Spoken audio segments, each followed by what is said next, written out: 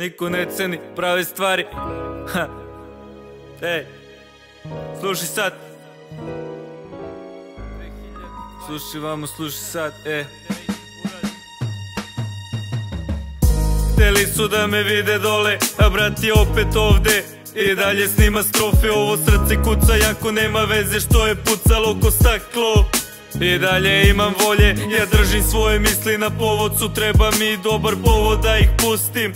Sanjam bez boje, ove ruke bi samo nešto da broje. Ne se svakom da ih pružim, jer već ste mi previše dužni. Ovde ljudi ne znaju za uzajamno poštovanje Zato neke reči čuvam za sebe za sve je potrebno vreme, a ja nemam živaca. Stvarno ne želim o tome, ima bezbroj krivaca. Mi smo rođeni da grešimo, redko ko je umetnik. Teško je živeti činjenice, lako je umreti. Ja bih da pustim krila, živim tu jedan dan. Ostala 364 bih da prespavam. I se vrti se u krug Kurva te izda, dušman ti bude drug.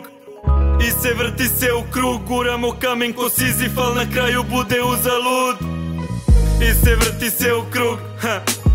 Kurva te izda, dušman ti bude drug I se vrti se u krug, guramo kamen ko Sizif Al na kraju bude uzalud Ovde je repo davno umro, vraćam ga u život kao da su 90.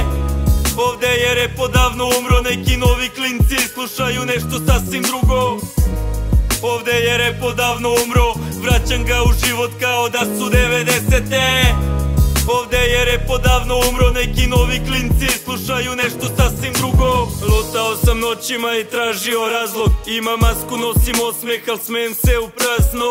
Ponekad dan može da bude kazna. Drži glavu gore jer to je samo faza. Otkad sam se rodio, znao sam svoj pravac Da radim ovaj rep kao što radim danas. Brat nije poznat, al svaka bi da se nakači. Pitaj tu po kraju ko je najjači.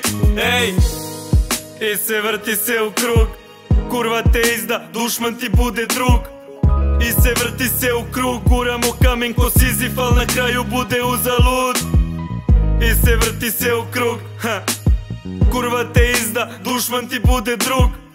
I se vrti se u krug Guramo kamen ko Sizif Al na kraju bude uzalud.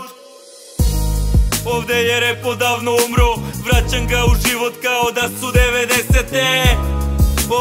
Ovde je repo davno umro Neki novi klinci slušaju nešto sasvim drugo Ovde je repo davno umro Vraćam ga u život kao da su 90. Ovde je repo davno umro Neki novi klinci